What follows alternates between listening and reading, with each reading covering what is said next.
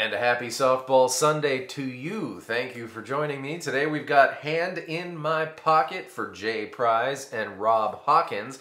But before anyone puts their hands in anyone's pockets, I hope you don't mind if I take just a moment to thank the following people for signing up for the Patreon supporter of the Cause Club.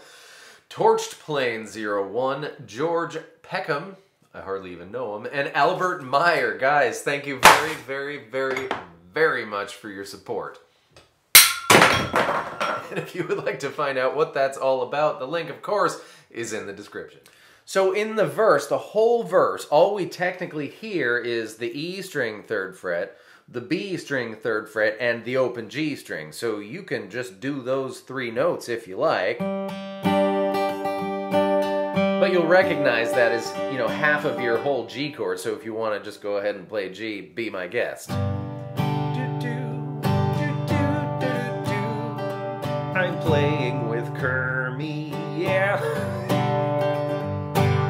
That's the whole verse.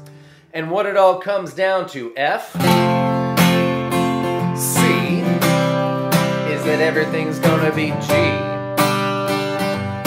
However, when the band hits F in the song, we hear the persistence of that high G note on the E string third fret, so you might want to play F add 9, which is baby F, plus your pinky finger on the E string third fret.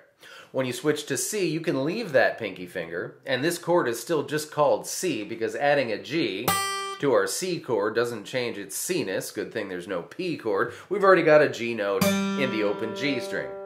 And what it all comes down to, F add 9, to C with the G, and then that changes if I play Tom Petty G, which is three finger G with the wrong fingers. Plus, now you can reach for the B string first fret with your pointer finger and make a G sus4, which you will recognize. And what it all comes down to, F add 9, to C, to G, because I've got F add 9, and then quick, C, D, back to the verse.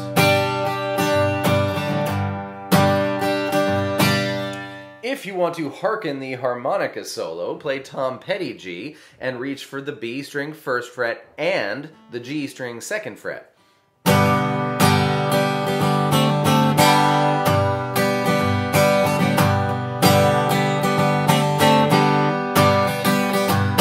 Or you can kazoo it.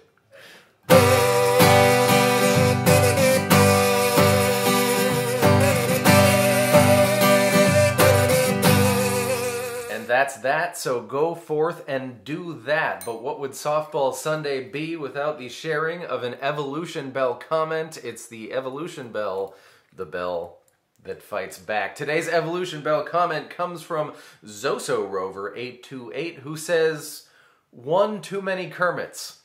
Fighting words. but thank you, sir, for your comment. Ouch. Thank you so much for being here. I've got one hand in my pocket and the other one's holding my clicky button so I can end the video.